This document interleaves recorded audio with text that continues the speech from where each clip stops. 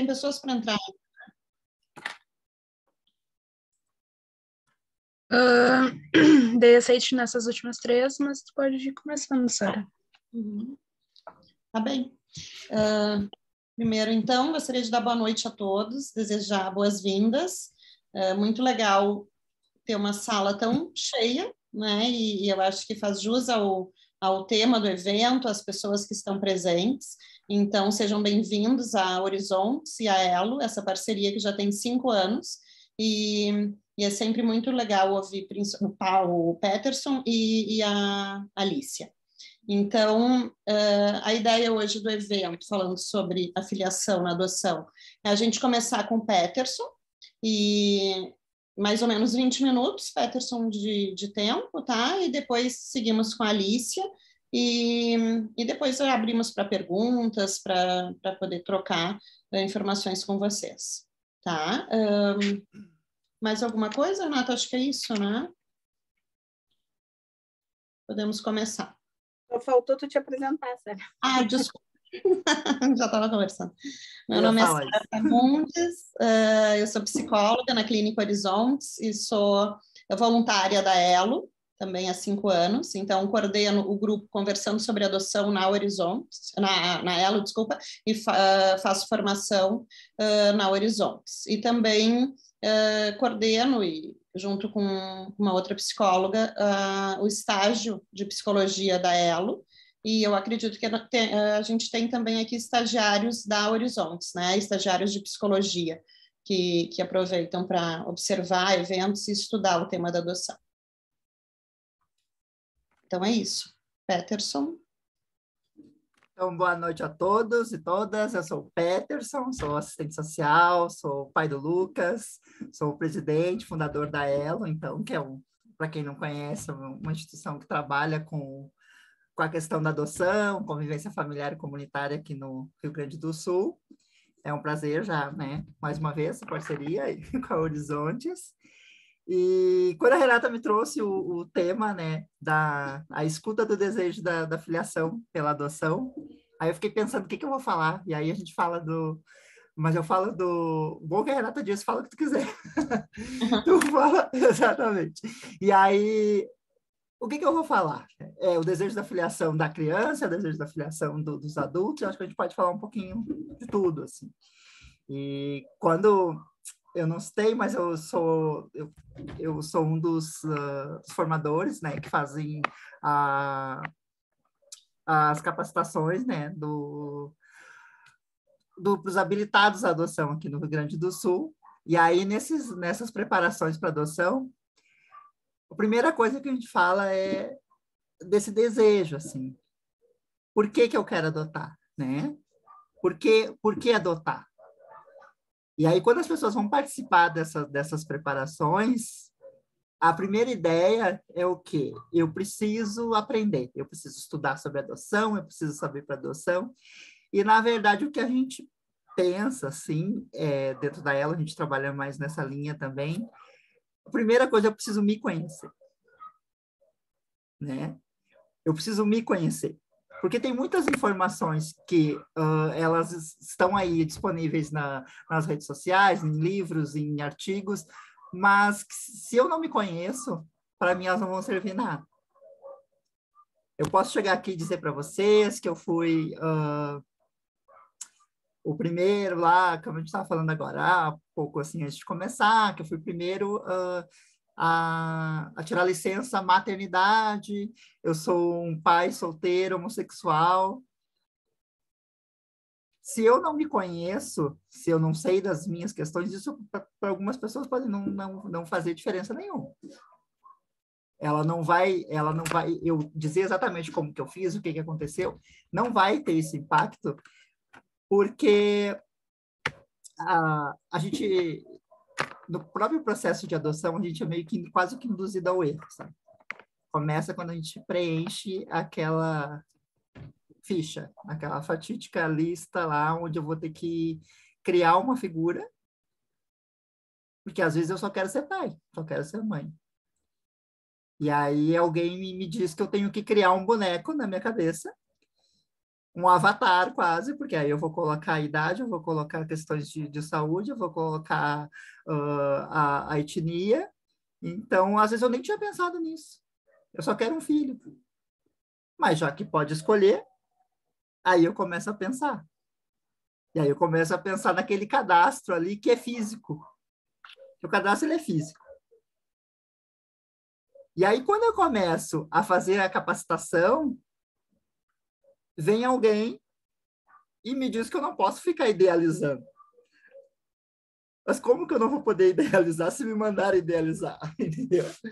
Se me mandaram, uh, se, se mandaram eu, eu, criar esse, esse perfil que às vezes eu só queria ser pai, ser mãe, e, e não tem como, eu não vejo assim dessa forma, e aí depois uh, as meninas podem me uh, trazer mais coisas, mas eu não tem esperar. Acho que é muito difícil esperar sem idealizar, né? Como é que eu espero sem, sem, sem pensar nada? Até porque também a adoção não é, ela não é, ela não é caridade, então não é aquela coisa de ah, eu vou fazer sem esperar, sem. Não, as pessoas esperam. Seria lindo se não, mas esperam. As pessoas uh, uh, querem ter um filho, e aí quanto mais tempo, né, tu, tu leva e, e, espera esse filho, mais tu vai imaginando. Só que às vezes tu te apega naquele cadastro ali, que é físico, e começa a imaginar aquela criança. É, tem aquela, a, a ideia, de, sabe aquela aqueles parques de diversões que tem aquela pintura lá, que às vezes é um palhaço, é um, é um, um príncipe, uma princesa, e tu coloca só a cara ali sabe? E aí tu tira a foto. Essa às vezes é o nosso filho. A gente começa a imaginar tudo que a criança é. E aí quando te chamam, quando chegou a criança, às vezes principalmente na adoção tardia, vem uma criança às vezes ali de 8, 10 anos, que é aquele perfil que tu queria, ou não, ou é algum projeto, ou chamam fora do perfil, aquele personagem que tu tinha pintado ali, a primeira criança que te chamarem, tu vai jogar a cara daquela criança naquele, naquele buraco ali e vai dizer que é ela. Mas a criança nunca foi daquele jeito, entendeu? Então, às vezes, tu, é, eu acho que falta a gente um pouco a gente se ouvir mesmo. Então, assim, na, na, a gente se, se vê. Porque é muito fácil dizer também que adoção, adoção interracial. Adoção interracial é uma das que eu tenho mais dificuldade, assim, confesso, em, em compreender as limitações, que eu acho que é dentre as adoções de difícil colocação é a única que ela diz respeito é, ou é a que mais diz respeito apenas a gente e não a criança.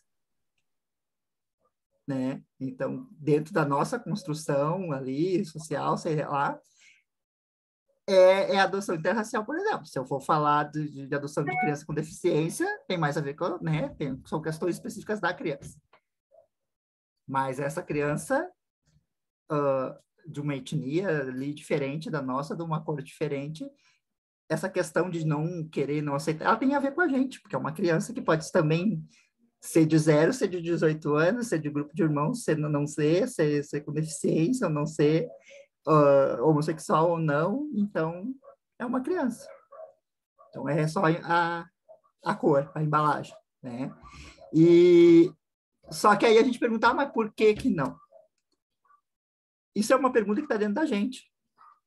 Não adianta eu chegar para uma pessoa que não aceita e querer que ela me diga por que, que ela não aceita tal coisa. Às vezes ela não tem essa resposta. Então eu acho que esses esses desejos que a gente que a gente tem e acho que a gente no perfil, primeira coisa é tu ter certeza do teu perfil e por quê de cada coisa. Cada coisinha que tu vai preencher, tu vai por quê e por que não. O que tu botou sim, tu vai ter certeza por que do sim e o não porque do não. Se algum não tu não tiver certeza, tu começa a pensar sobre isso.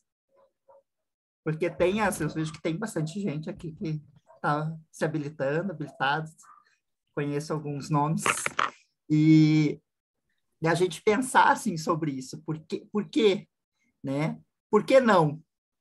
Claro, tem questões, por exemplo, ah, uma criança acamada. É óbvio, tem que ter toda uma estrutura e de repente tu não está preparado para aquilo. Mas quando tu te conhece, mas eu vejo outras questões. O que a gente vê no dia, eu já vi devoluções de pessoas que não não conseguiam porque a criança não ia bem na escola no primeiro ano que chegou. Porque eu não admito quem reprove.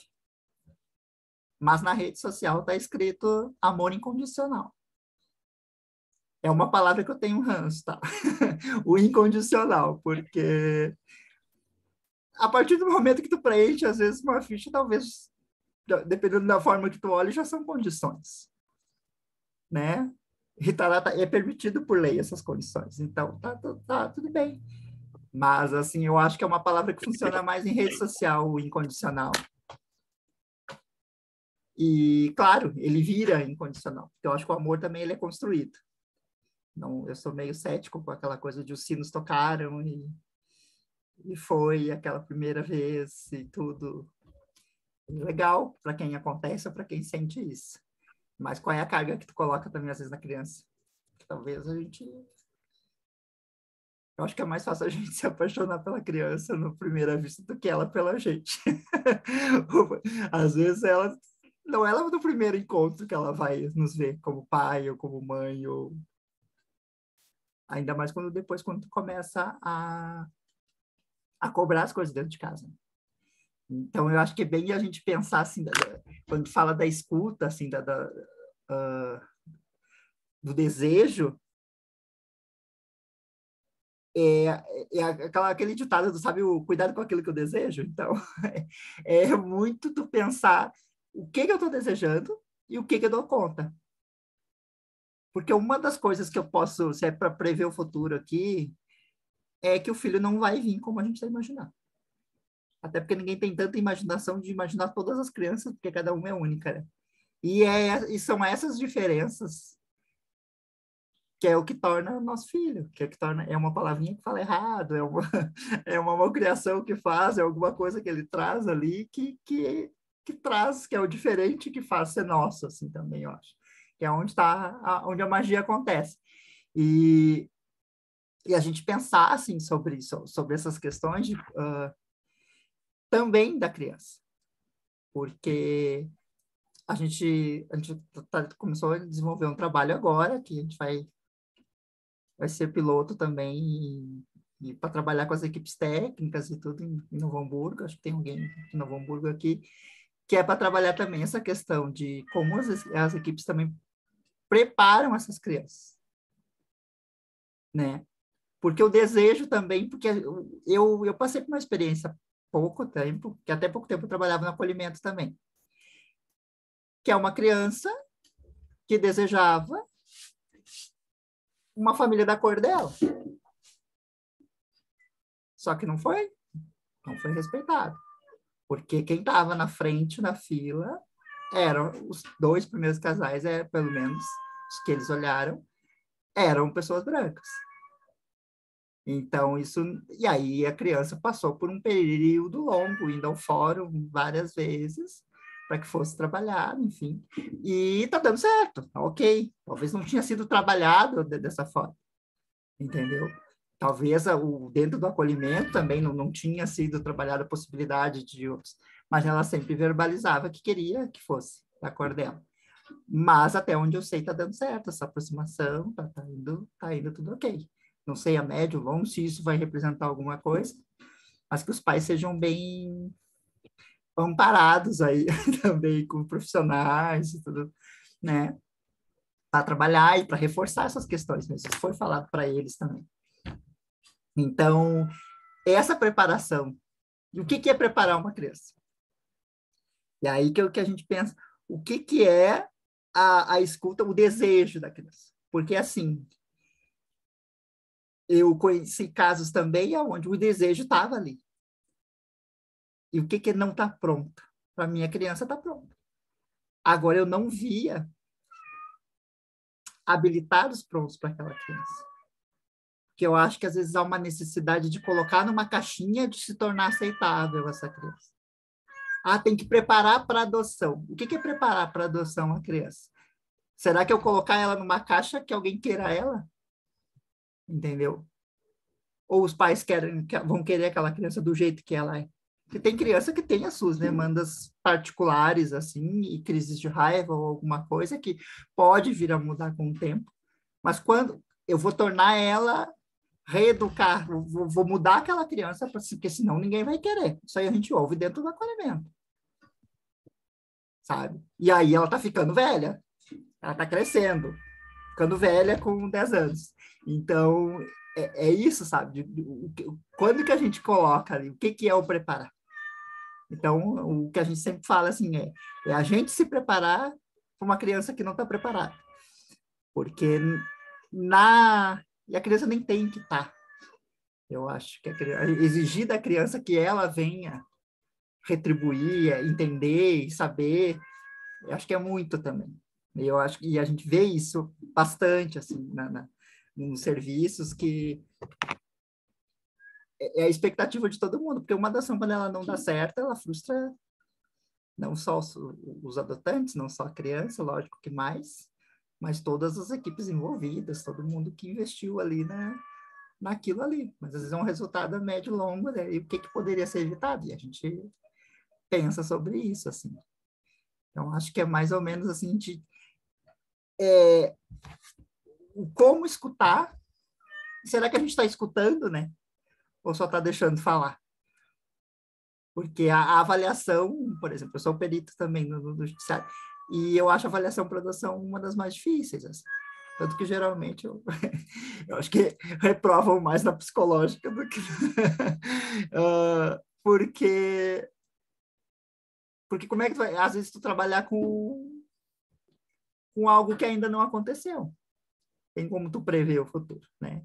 Claro que tem coisas que tu identifica ali, mas tu, tu, tu trabalhar esse, esses desejos eu já vi casos assim que surpreenderam muito, assim. Casais que não foram habilitados, e aí começaram a participar dos grupos, aí levaram três anos, quatro anos. E, e hoje estão, então, tem um exemplo assim, a gente achou que eles jamais iriam se habilitar. Eles adotaram uma menina de 15 anos e é menina com questões de saúde mental e tudo, e é uma família sensacional, assim.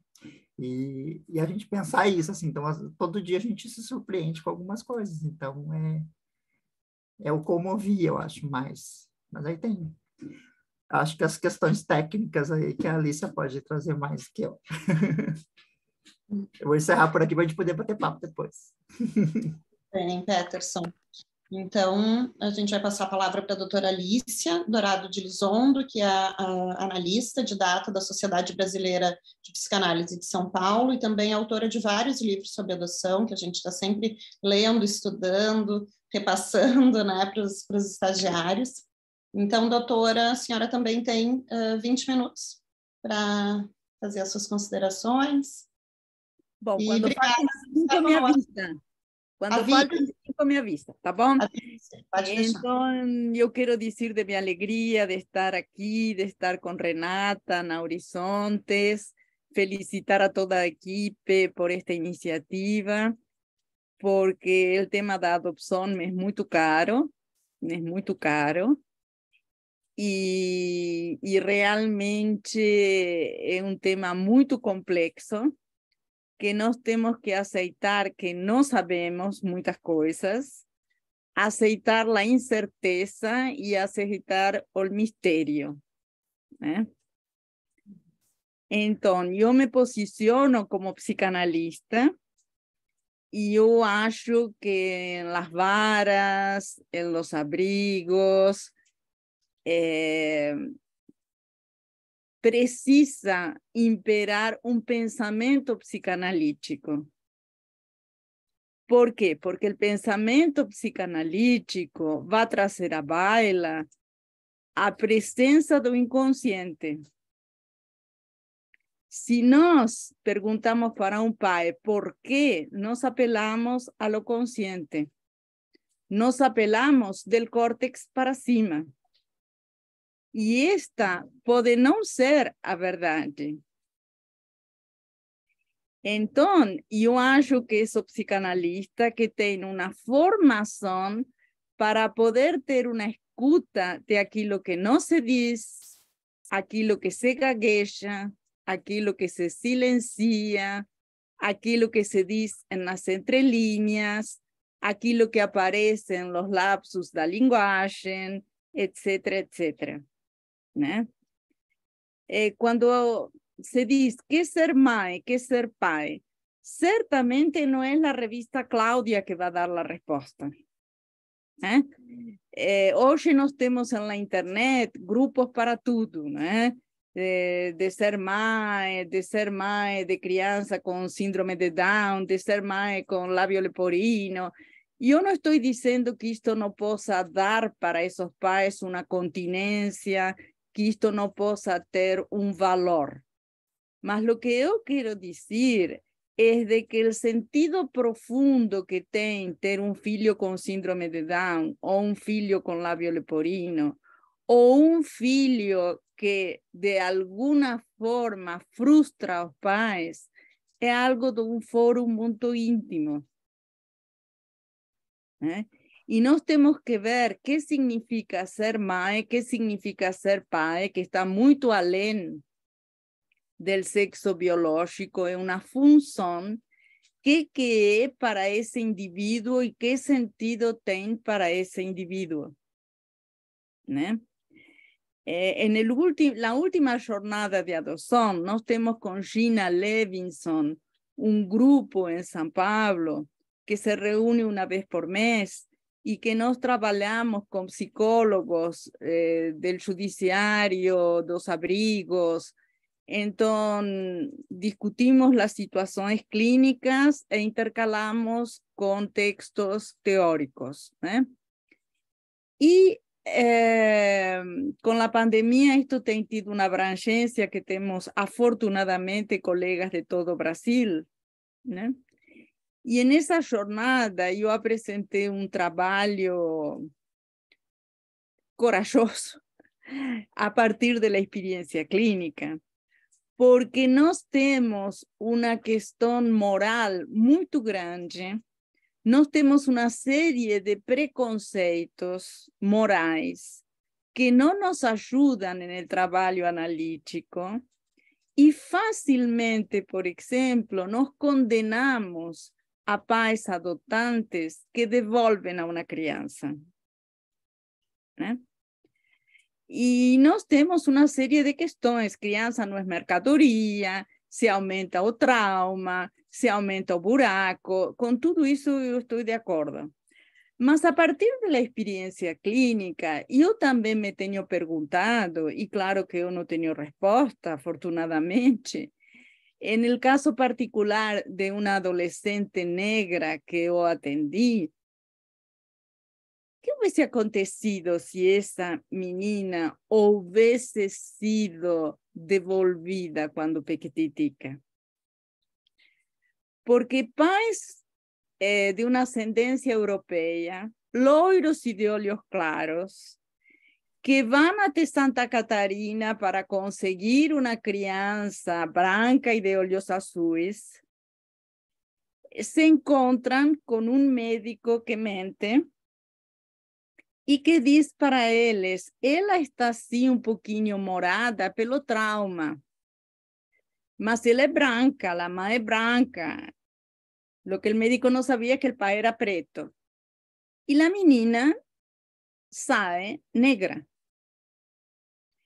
Entón, eh, de moitos anos e de unha relación de moita confianza, eh, este pai consegue me dicir lo que eu suspeitava, porque ela vinha com perfume que ela deixava impregnado o consultório. E o pai era um alto executivo que vivia em aeroportos e trazia para ela perfumes e mais perfumes, né? Então ela vivia com dois ou três perfumes importados na mochila. E um dia chorando, ele me falou: Olha, que, que até é o título de um trabalho, ninguém pode amar por decreto-lei.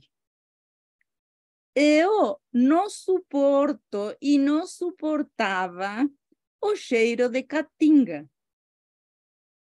Né? Cuando surgió el cabello bombril, yo quería morrer. ¿Eh? Mas ahí veio la Iglesia Católica, veio el padre, veio cómo que yo iría a hacer esto de devolverla, que sería de su mano, etcétera, etcétera. Y esa eh, crianza fue criada respirando la rejeición respirando as toxinas da rejeição. Porque ninguém engana a alma humana. Um bebê tem antenas parabólicas. Os pais não têm como fingir 24 horas por dia. Né? Então, eh, aos poucos foram aparecendo cenas de que o pai recebia os executivos para pá, para pá, e ela era escondida na edícula com as empregadas. Igual que ela aparecesse, como se ela fosse uma vergonha a ser escondida. Né? Como que ela não ia viver isto? Então, eh, eu acho que a clínica é poderosa para nos ajudar a pensar e não ter esse tipo de preconceito né, moral eh, esto es bueno, esto es ruin, esto es bueno, esto es ruin, para quién, en qué momento, de qué forma. ¿Eh? Entonces, claro que nos lutamos para evitar las devoluciones, mas para evitar las devoluciones nos tenemos que comenzar a trabajar con la institución do abrigo. ¿Por qué?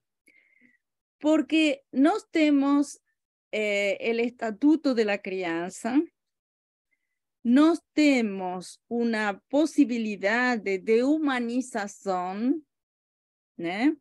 que é muito louvável, mas o quanto não actúa en la institución como nós temos que encontrar uma família para esta criança, porque esta criança está envelhecendo.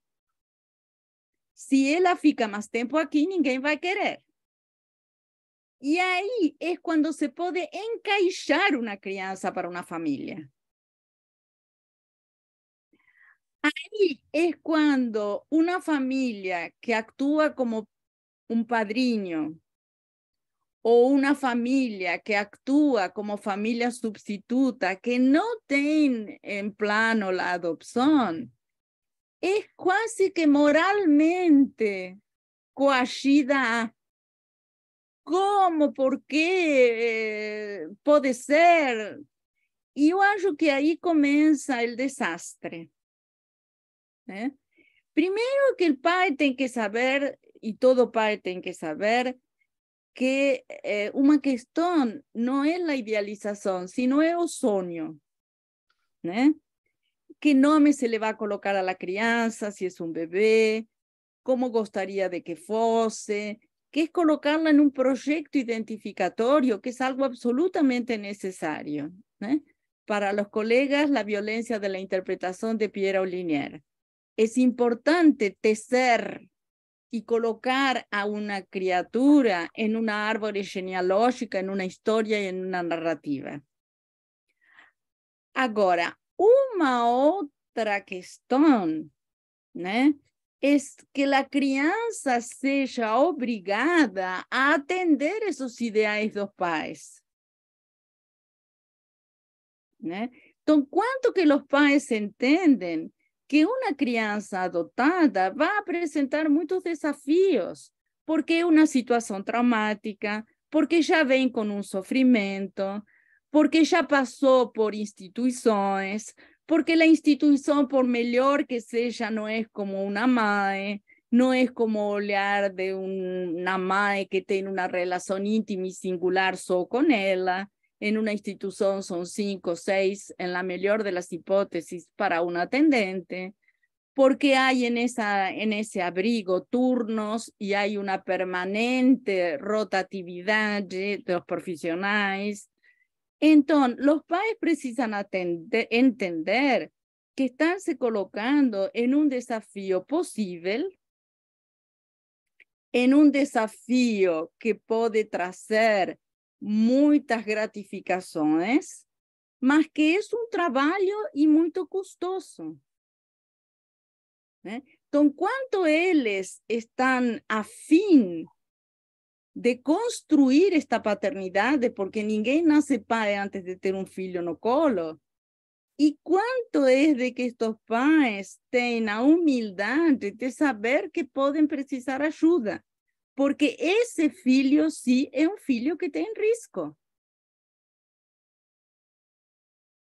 Entonces, precisa sí de ser avaliado de tiempo en tiempo, precisa sí de un acompañamiento, así como ellos lo van a llevar a un médico, que el médico va a ver cómo está el desenvolvimiento físico, hay que ver cómo que está el desenvolvimiento psíquico de esa crianza.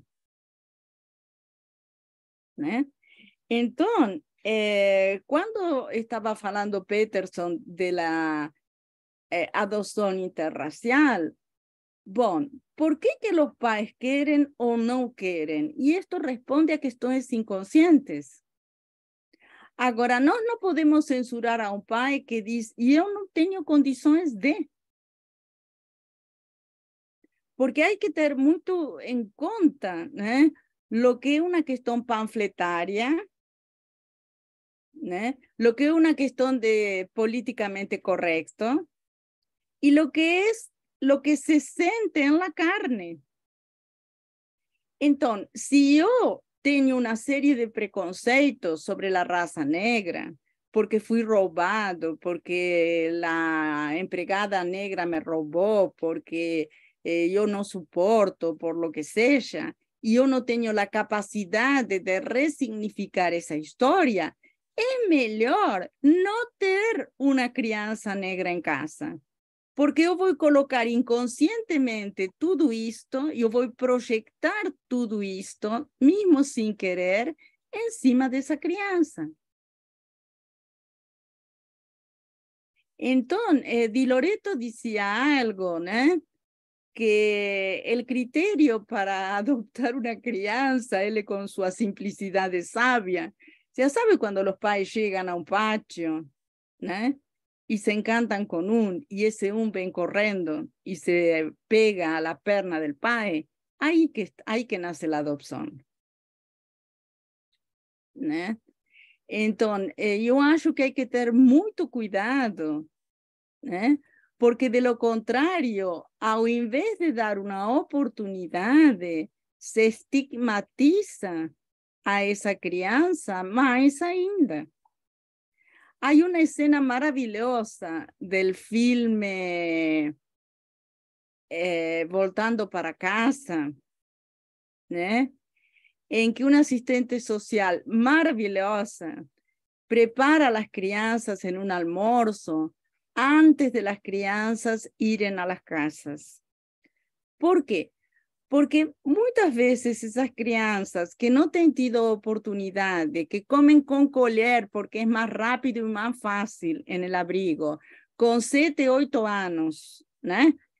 porque no se les ensina que bon limpar a boquinha antes de tomar do copo, ¿no? porque sálvese quien puder, por la falta de, de funcionarios, por la cantidad de, crianzas, y no estemos con la pandemia, 200 mil seres órfãos, 200 mil. Né? É, quando chegam a uma classe, classe média, os pais podem ficar horrorizados.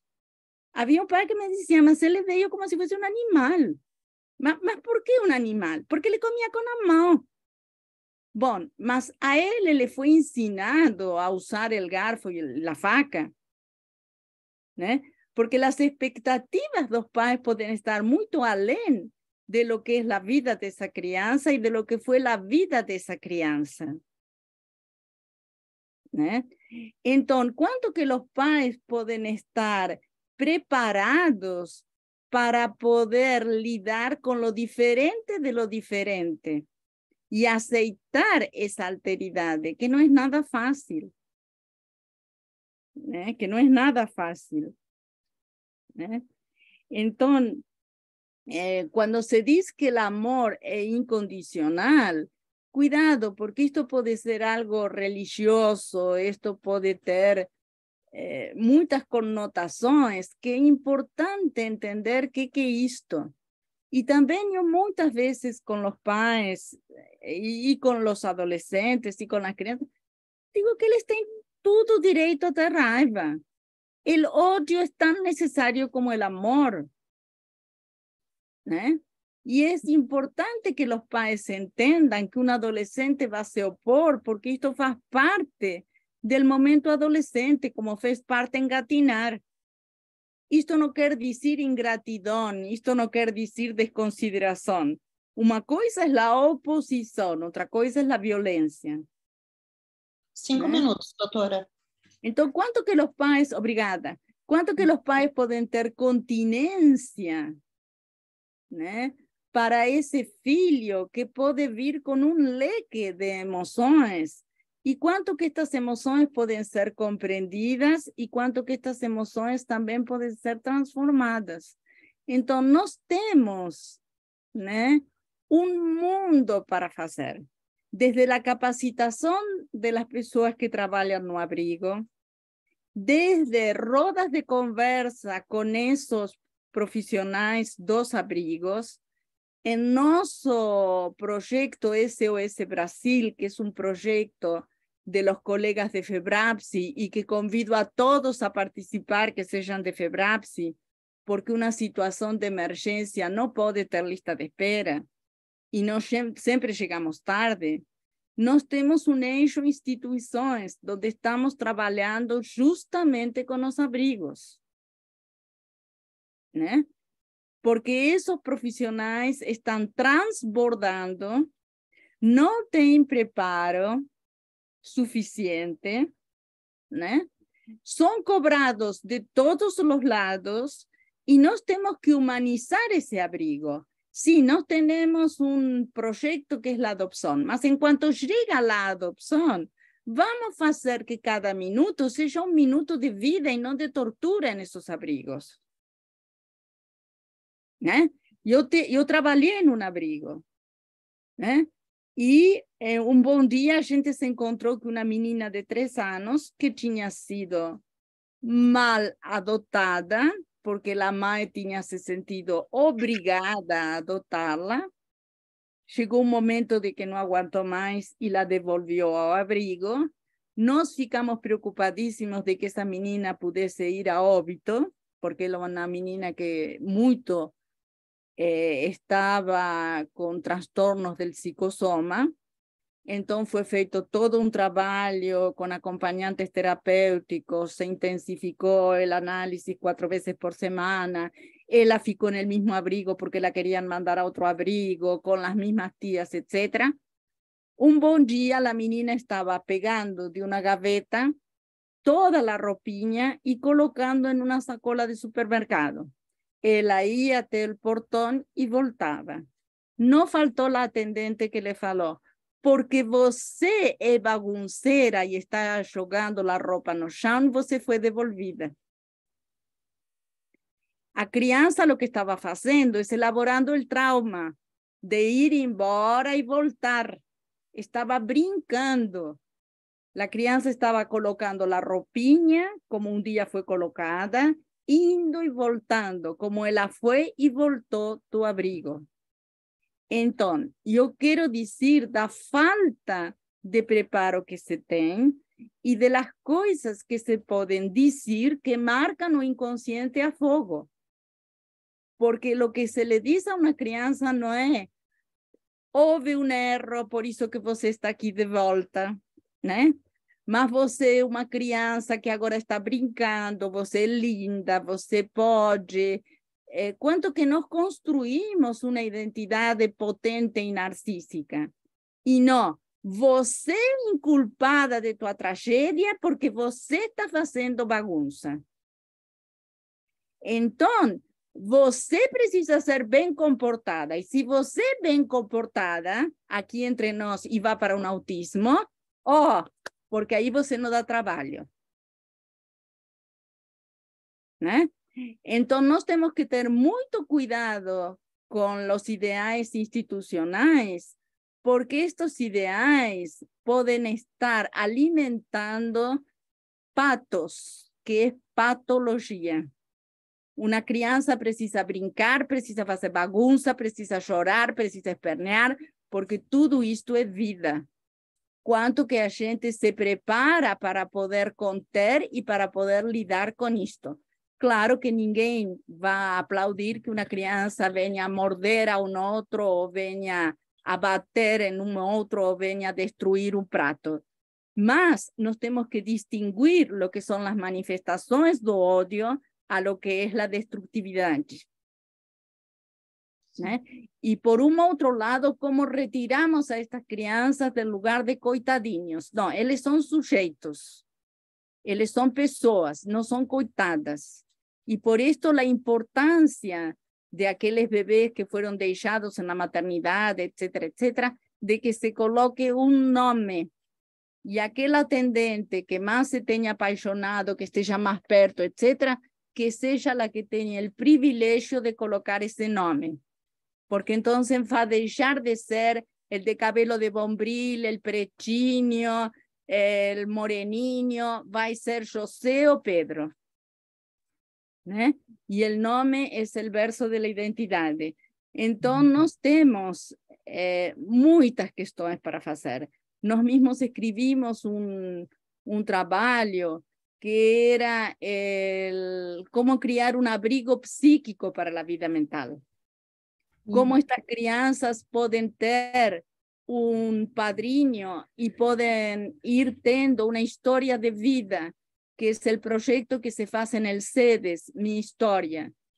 Entonces, cuando los padres adoptan, no tienen solo un protuario, tienen la foto de un bebé, ese bebé tiene la foto de los atendentes, tiene la comida que gosta, tiene el equipo de fútbol por el cual torce, eh, tiene el primer día de escuela, tiene el primer dentiño que salió, como a gente faz con los propios hijos de gente. A gente constrói uma história e um álbum de vida. ¿Por que é que as crianças estas não podem ter um álbum de vida? Com fotos do aniversário del primer dia da escola, etcétera, etcétera. Entonces, una hora, una vez por semana, se pode ir construindo esse livro donde los padres adoptantes pueden recibir. Y cuando hay una, digo esto y me calo, cuando hay una eh,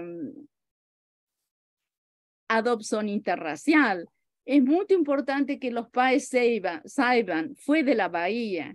Entonces, você sabe la comida que tiene en la Bahía, você sabe la música maravillosa que tiene en la Bahía, Você sabe lo que esos negros têm feito en la Bahía, de que esa eh, cultura pase a ter una cierta familiaridad. ¿eh?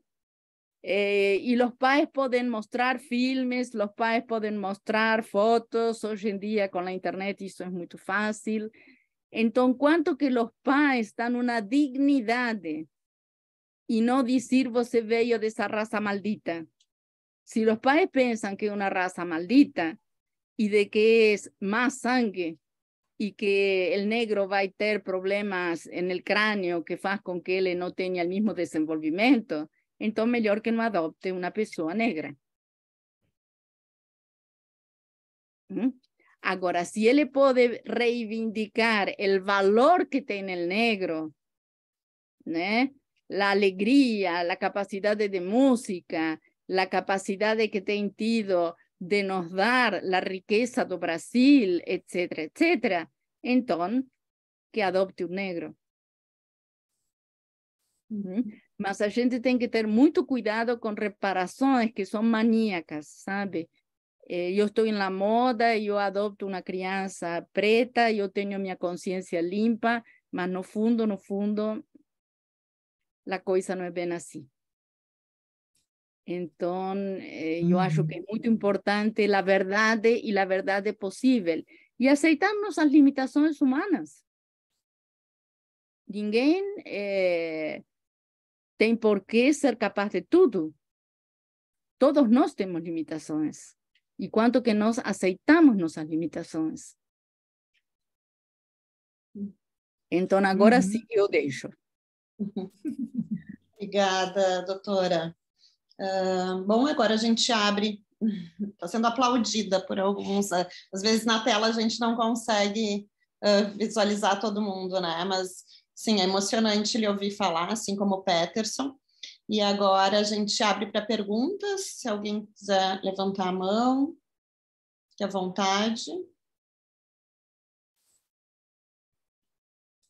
Eu anotei algumas coisas aqui uh, e enquanto o pessoal se organiza para perguntar, eu, eu, fiquei pensando, a gente... Ah, Oi, pode falar, Pedro.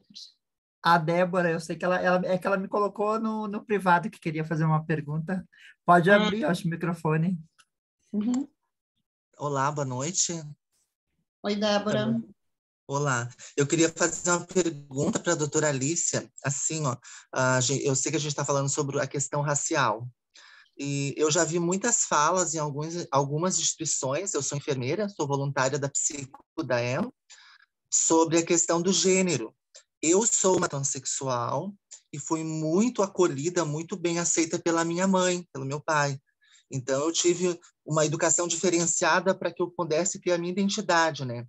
mas eu vi algumas falas em alguns outros locais de pais, assim, aleatórios, assim, de que mesmo que a criança no futuro ela tenha um, um gênero diferente, é menino, foi escolhida uma adoção por um menino, gênero masculino, mas ela pode vir a ser uma trans no futuro, ou pode ser um homossexual, ter uma opção diferente.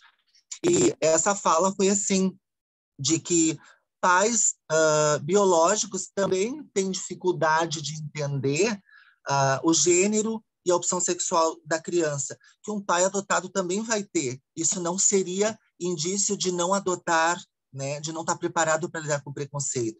Eu queria ver o que a doutora acha, porque a doutora comentou se a pessoa não está preparada para adotar na questão racial, se o gênero também se encaixa nisso, porque às vezes a gente vê pais héteros normativos que optam por um gênero, mas a gente não sabe no futuro como vai se dar isso, né? Porque a gente vê muito, muitas adoções hoje que a transexualidade se mostra aos 7, 8 anos, já se mostra que a criança tem transexualidade, né? A gente vê vários relatos de pais que adotaram e souberam muito bem lidar com isso. E outros a gente não sabe. O que a doutora acha sobre a questão do gênero? Para pais que escolhem um gênero masculino ou feminino? Olha, o que vai passar não se sabe. Yo no sé lo que va a pasar con mis propios hijos. ¿Qué va a pasar? No se sabe. Lo que yo acho que en esta cuestión de género es muy importante distinguir, y yo sé que lo que yo voy a decir aquí también va a ser polémico, ¿eh? es lo siguiente. Por un lado, eh, no entrar con un programa hormonal en la primera infancia o en la adolescencia, porque esto puede tener características irreversibles en un momento que se está constituyendo el organismo. Y el fato de que una crianza diga que quiere ser menina no quiere decir que realmente desee ser menina. Entonces, es importante ver inconscientemente que que esto, cuánto que hay um desejo autêntico, né? E quanto que isto, então, pode ser respeitado, y cuanto que esto está en una forma de decir de un desencontro de la existencia. Yo estoy muy mal conmigo mismo. Y entonces yo busco una otra cosa. Yo quiero ser una otra cosa para poder lidar con mis angustias. Entonces estos padres tienen que saber que cuando en el filho aparece alguna cuestión que faz con que les fiquen perturbados, ellos pueden pedir una entrevista psicanalítica de avaliación donde ellos estén presentes, a criança o adolescente también, para poder entender qué es lo que está aconteciendo. Ahora, cuando a mí me ven a decir ¿Qué es lo que yo voy a hacer si él va a vir a ser trans? ¿Cómo que no sabemos? No, no sabemos. Ni sabemos lo que quiere decir eh, ser trans o no ser trans. La cuestión racial está colocada. La, la, la cuestión racial inclusive, si los padres adoptantes son blancos, denuncia la adopción. ¿Ok?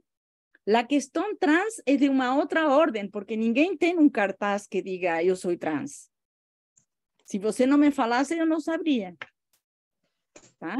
Então, o que é importante é que os pais tenham uma apertura para dizer, eu vou ter a humildade de tentar estar perto de meu filho e de compreendê-lo, seja lá o que der. ¿Eh? Eh, los padres no saben inclusive cómo les van a reagir ante esto. ¿Eh? Lo que es importante no confundir, y ese es el perigo de nuestra sociedad, de, de considerar normal una normopatía, ¿no? La droga, la maconia es normal, eh, la cuestión de género es normal, es ver cuando por tras de esto hay un berro de socorro quando por trás disto é uma forma de dizer eu não estou bem e busco uma forma de. ¿eh? Né? Então, isto é muito importante de que seja distinguido, porque se eu não estou bem, também não vou estar bem, sendo trans, sendo homo, ou seja, o que for. ¿Ah? Tá? É uma questão de existência, é uma questão do ser.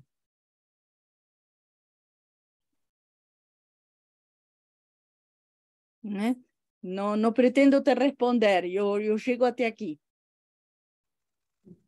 Deixa eu contribuir um pouquinho. Ninguém Posso entrar tem, nessa? ninguém tem a bola de cristal para saber o que vai acontecer no futuro.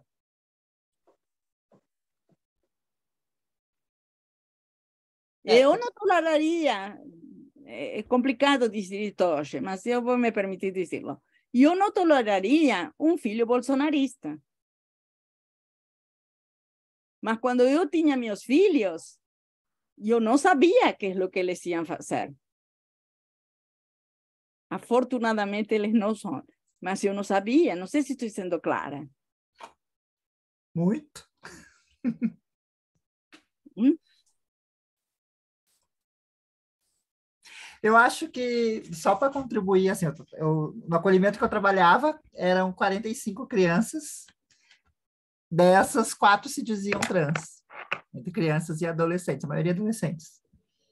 E aí, com o tempo, de quatro virou duas, e que a gente um, um, uma fez 18 anos, e quando fez 18, o, o, o juiz já, já emitiu uma, uma certidão até que ela pudesse usar o nome social, assim, na, na saída, né? Que no caso era um, é um menino trans. E então, assim, a nossa dificuldade dentro do acolhimento era justamente uh, conseguir identificar até o que a, doutora falou. Porque a, a, a, grande, de acordo com a, com a quantidade de sofrimentos que, que, que eles vinham, o que eles queriam, na verdade, era não ser eles, ou não ser presa do que eles passaram porque uhum. tinha um histórico muito forte ali, esses casos específicos de violência sexual fortíssima, assim. Então, as meninas se, se, se, se travestiam, vamos dizer, de, de meninos e coisa assim, mais para não ser presa naquele, se, tornar uma presa do, do, do algoz ali, do que, do que realmente era uma questão de gênero. Então, e aí isso foi identificado a médio prazo, mas assim, Uh, tinha uma que tinha um nome.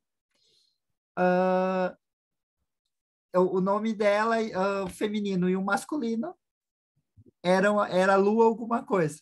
E aí, por um tempo, nós chamamos de Lu, para ficar uma coisa neutra, porque dependendo de como estava naquele dia,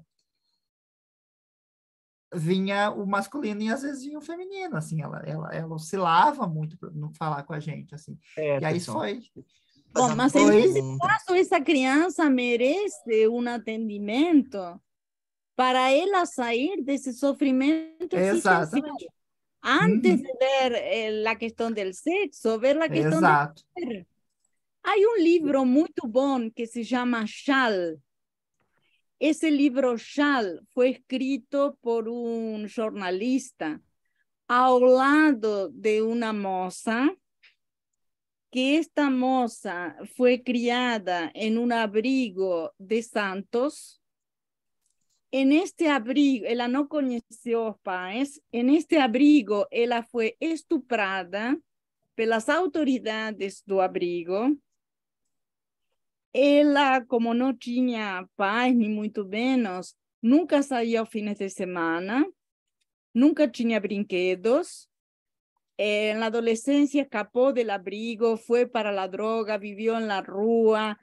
Eh, ela conta né, todas as peripécias dessa vida. E ela eh, se dice transexual, porque justamente ella tiene horror de poder vir a ser una mujer y sufrir o repetir lo que ella ya sufrió. Y ella conta esto con lujo de detalles. Eh, Ella fue una de las personas que estaban en un grupo de adolescentes y que ellos fueron a Santos al velatorio de Covas. Y ellos asistieron de que Covas tenía un anel muito significativo de ouro e perceberam de que essa de que ele ia ser enterrado e tudo demais, de noite eles abriram a, o caixão e roubaram o, o bendito do, do anel para poder comprar droga para sobreviver. Então, eh, nós dizimos, né? Eh, salva em este momento por uma assistente social que trabalhava na penitenciária ella encontró estando presa a un lar, ella quería ser presa porque ahí ella tenía comida y tenía abrigo. Y esta asistente social eh, cuidó de ella, la internó para que la pudiese se desintoxicar, o veídas y voltas porque la escapaba del hospital, hasta que ella siente que esta asistente social es la única persona que legítimamente está interesada en la vida de ella. Y a partir de eso, ella deja a, a droga y ella quer contar a historia y encuentra Uhum. este jornalista que le ayuda a escribir a historia. Sim. né? Então, eu acho de que a história e a vida dela é um exemplo, como tantos outros, para a gente sair do preconceito e a gente poder mergulhar na miséria das misérias humanas. Porque um abrigo teria que ser um lugar de vida e não um lugar onde ser estuprada. Né? A Débora colocou ali no chat até que a pergunta dela era menos relacionada ao, ao diagnóstico e mais sobre o preparo, né?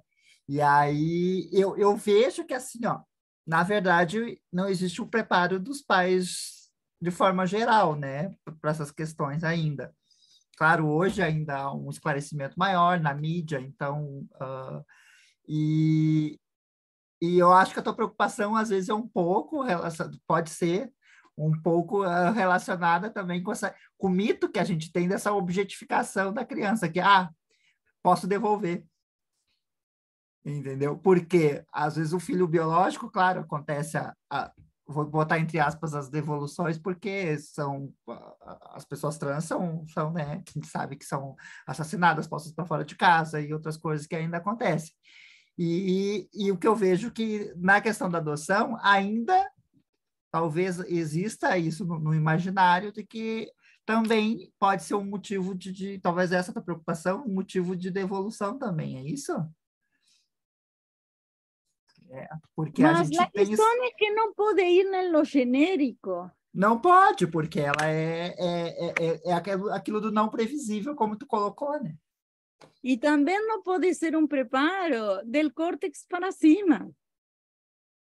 Que seja uma questão totalmente racional e que lo que se sente é totalmente diferente. Né? Yo lo que puedo decir es de que si se es capaz de amar a una crianza, que no se sabe cómo que va a ser. Uhum. Tá? Não se sabe cómo va a ser na escuela? La crianza puede vir a tener maiores dificultades porque hoy en día no sabemos que con tres meses, com três meses, um bebê, dependendo de como esteja posicionado no verso, puede tener tendencias de ir a un autismo. No sabemos que una crianza para bater palminhas está juntando y está juntando las partes bilaterales del cuerpo. Y sabemos que este juntar es fundamental para juntar letras y para se alfabetizar. Y si esa experiencia no fue con una boa conciencia corporal de los dos hemisferios, de la parte de cima y de la parte de baixo, esa crianza va a tener enormes dificultades para se localizar en un caderno, para tener caligrafía porque va a tener diferentes dificultades espaciales. Entonces, tenemos que tener conciencia de este gap que esa crianza puede vir a tener y que hay muchas formas de ayudarla para que ella consiga.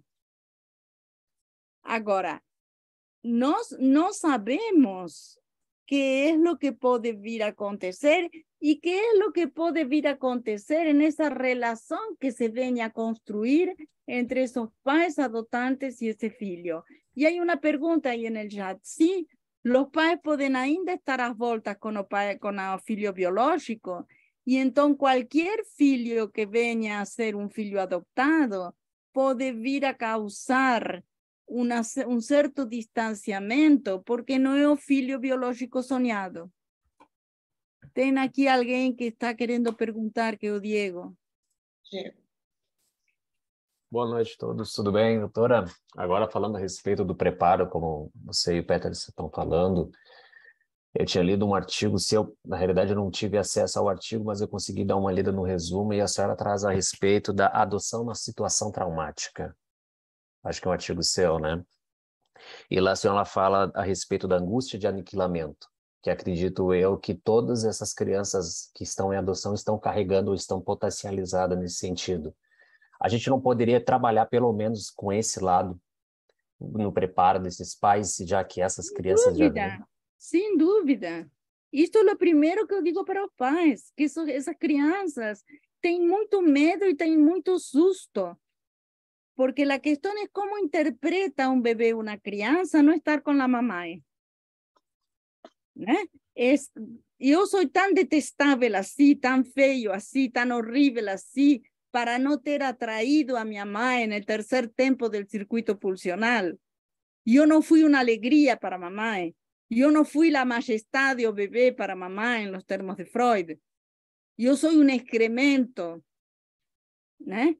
Entonces, estos padres tienen que entender que todas las situaciones de separación de estas crianzas, la ida al colegio, eh, la saída del pai para viagem, la saída da mãe para um compromisso profissional, vão ser muito mais sensíveis porque vai trazer a baila. Será que volta? Será que volta?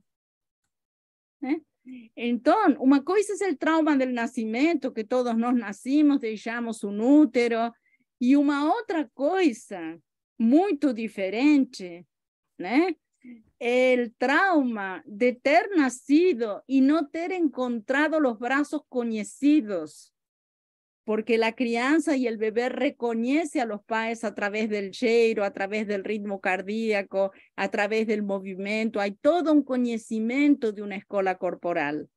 Y esas crianzas ficaron en un verso, muchas veces sin tener quien fale para ellos, sin ter quien possa olhar nos olhos, sin ter quien possa cantar, sin ter quien possa aniñar, eh, y quien possa dar de mamar aniñando. Entonces, eh, todo esto está en pauta. Y claro que los padres pueden tener conciencia de eso. Por eso que no falamos, cuanto antes una crianza es adoptada, mejor, Cuanto menos institución, mejor. Cuanto más los padres pueden acompañar el embarazo de la madre que decide dar a su hijo mejor. Cuanto más los padres no condenan a madre biológica, porque gracias a esa madre biológica les van a ser padres, y porque nos no conocemos los horrores de esa madre biológica para querer dar los hijos cuando son, de cuánto que los padres tienen la capacidad de decir, esa mamá estaba doente, no podía cuidar de você. No decir una vadia prostituta maldita, ¿eh? irresponsable, que ya tenía cinco y teve el sexto. Decir, esa mamá estaba doente, ¿eh? Tinha um que me dice, me dice sempre, então minha mãe deveria ter vindo aqui, não é verdade? E eu falo, talvez se ela houvesse vindo aqui e ela houvesse se tratado, seria diferente. ¿Eh? Porque ele sacou que lo que yo digo de que la mamá está doente es por una cuestión psíquica. Doutora, uh, junto a esse, esse ponto que a senhora abordou agora, eu queria que a senhora falasse um pouquinho mais sobre o ódio e o amor, a intensidade do ódio e o amor na, na adoção. Uh, porque muito nos, nos grupos que a gente faz, a gente fala dos testes que as crianças fazem com os pais por adoção, né, no início nessa formação de vínculo. E, e eu acho que fica. A gente, uh, a gente tem um grupo aqui heterogêneo, uh, falar um pouquinho mais sobre esse ódio, essa intensidade do ódio inicial que vem também. Pela criança, Bom, pelo pai e a mãe. Eh, los vínculos de amor, ódio e conhecimento eh, para los colegas de la área es un gran aporte de Bion, del pensamento de Bion. Então, ele fala que sempre eh, é necessário o vínculo de amor, ódio e conhecimento, e que esses três vínculos em conjunto, quando não há violência e quando não há desejo de possessão, os três juntos formam a paixão. Entonces, es tan necesario el amor cuanto el odio. ¿Eh? El odio permite inclusive la preservación en la historia de las especies. Entonces, los padres no pueden tener recelo de colocar límites y demostrar un buen odio. Llega, esto no es para hacer. ¿ah? Tá? E isto está ao serviço da vida. ¿ah? Né? Eu sempre digo para los os pais, dependendo da classe social, se uma criança está em uma varanda del sétimo piso e a varanda não tem proteção, eu vou puxar do braço, né? ¿eh? se machuca o braço, paciência, mas eu estou salvando a vida. Tá certo? Uma outra coisa é que um pai tenha um forte sadismo e um forte masoquismo e use o filho como cenário de superversão para beliscar, queimar, machucar, bater. ¿Mm? São coisas totalmente diferentes. De la mesma forma que a criança tem todo direito a mostrar seu ódio, tá? Lo que no tienen derecho es a bater, a se machucar o a quebrar las cosas del consultorio, por ejemplo. O en la educación de un filho en la mesa, você vai lhe dizer, você pode não comer, você pode estar com raiva. Não come, mas você não vai jogar a comida no chão.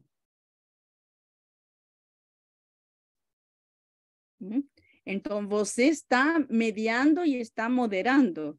Agora, el pai tem que se reconhecer que sí, que tem ódio e que tem direito a ter ódio e que isto é profundamente humano e que não precisa ser um santo, precisa ser um homem ou uma mulher que decidiram um enorme desafio que é poder criar a uma criança. ¿Mm? De la misma forma que precisam dar o direito ao adolescente de ter odio y distinguir muy bem lo que es odio de lo que es violencia, Donde la asimetría es fundamental que siempre se mantenha. Los pais no son amigos, no pueden estar no mesmo nível. Né? Siempre la asimetría es fundamental. Então, os pais podem decir: olha, no podemos não ser os pais que você gostaria de ter no repertório. Paciência. Mas estos son los pais que você tem e nós somos tus pais.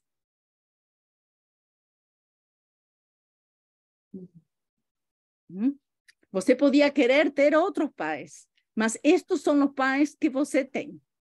E nós te queremos como filho, e porque te queremos como filho, você não vai dirigir o carro antes dos 18 anos, ou você não vai ter eh, de mesada tanto dinheiro, ou você não vai ir a uma praia solzinho com mais 10 adolescentes de 14 anos. Se não vai um adulto, você não vai.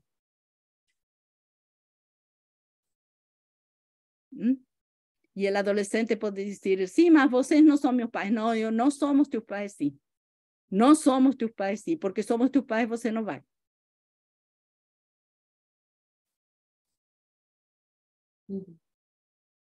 Claro que você tem que se disponibilizar a ir para a praia, você tem que disponibilizar-se a dar outras alternativas, e claro que você tem, claro que é trabalho, né?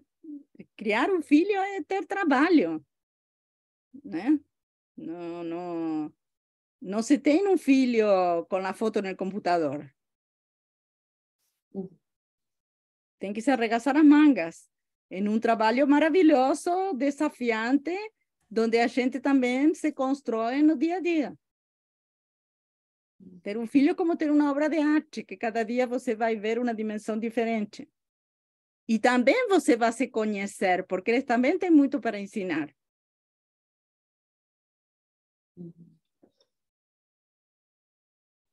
Pessoal, mais alguém com perguntas? Temos alguns minutos ainda para aproveitar. Ah, José Wilson, por favor. Doutora, me diga uma coisa. A adoção, como a senhora mesmo acabou de dizer, e eu conheço e trabalho com isso, ela é um, não é um, uma coisa fácil, não é, é ele requer trabalho, requer dedicação, requer conhecimento.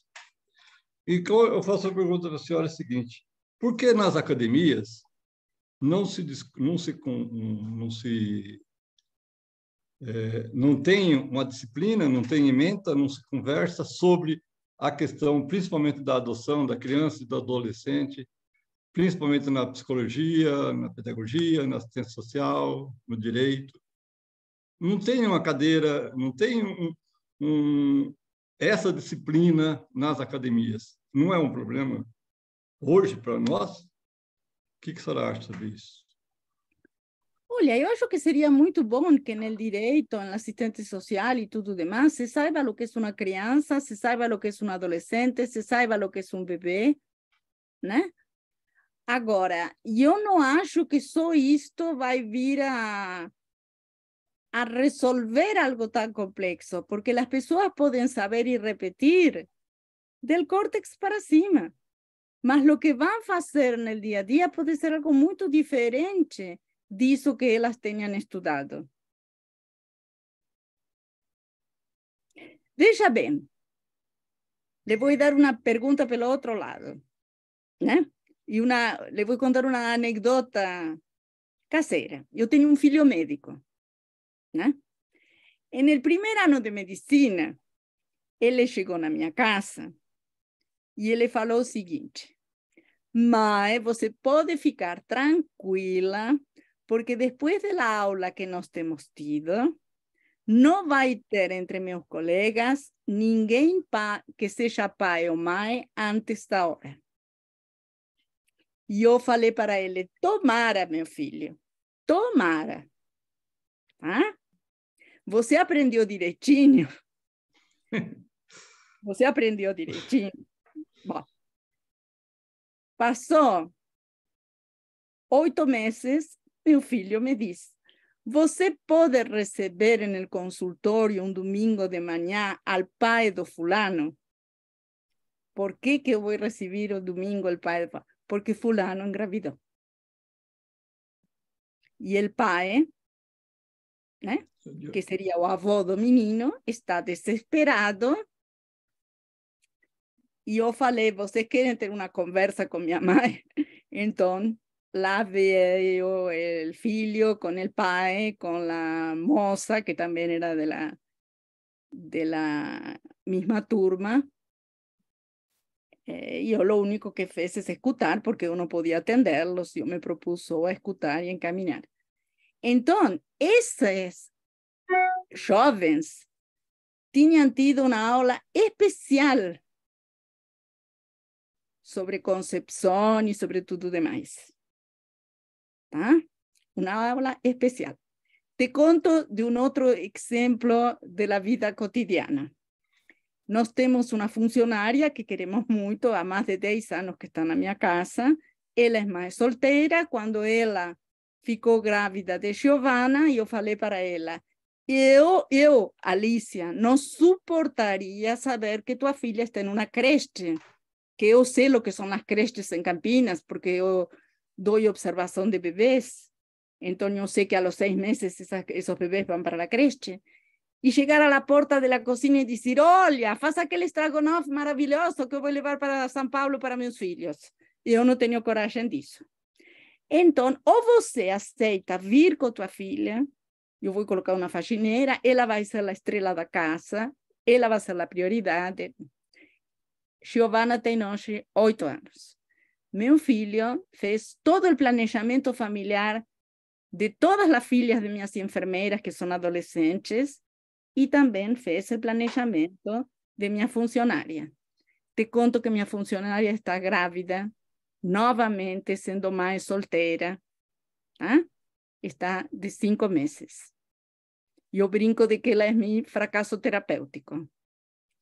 Por quê? Porque as forças do inconsciente são muito poderosas. São muito poderosas. Então, eh, estas pessoas têm tido uma orientação, têm anticoncepcional de graça, têm uma orientação de que é anticoncepcional e por quê, tem aulas que meu filho tem dado, tem, sabe? Está grávida. Então, o inconsciente é muito poderoso. É muito poderoso. Né? Com certeza. Obrigado.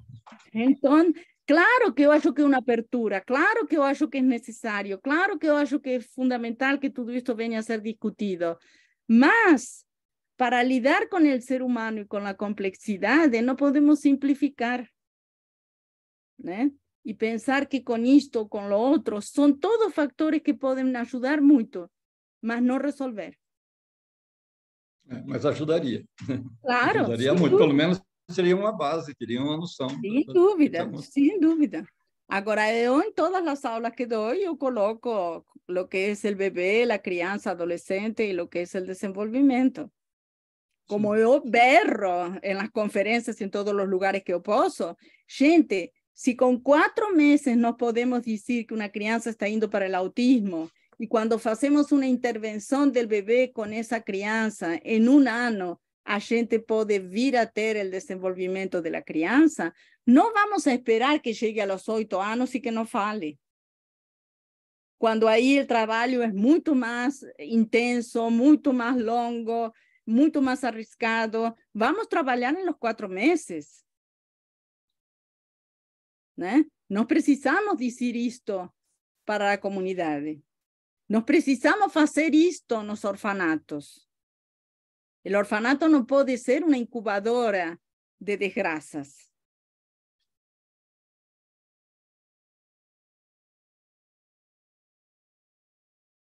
Uhum. Renata, acho que a gente pode se encaminhar para o final, já estamos no horário. Uh, não sei se a Renata quer fazer alguma consideração. Não, eu quero só realmente ressaltar o quanto a. Bom, eu, a doutora Alicia sabe da minha admiração e respeito por ela, mas é, ressaltar a coragem realmente dela, quando ela começa a falar do caso esse que ela atendeu, é, às vezes é, a, a, os, os, colegas psicanalistas têm medo de tocar em determinados assuntos, né? E eu acho que a doutora Alicia realmente traz esse ponto da questão da adoção, bom, todos os pontos, mas começando com a questão da adoção interracial, e de que realmente as pessoas possam pensar, né? Se aquilo por algum motivo me incomoda, né?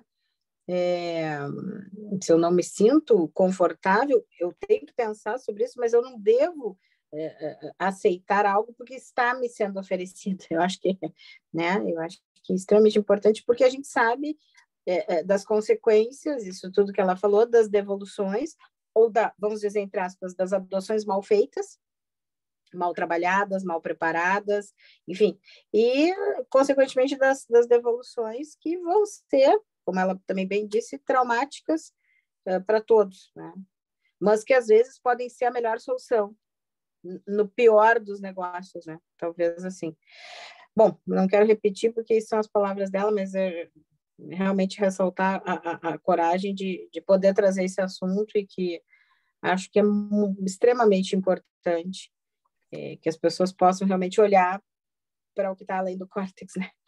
Então, lembrando que nós temos o inconsciente, nós não somos só essa, né? essas, essa nossa expressão aqui consciente, somos regidos por outra força mas agradecê-la, mais uma vez, agradecer ao Peterson, né? sempre é um prazer estar com vocês. Eu estava aqui ouvindo, eu digo, teria questões, eu digo, vou deixar as outras pessoas falarem também, porque, enfim, né?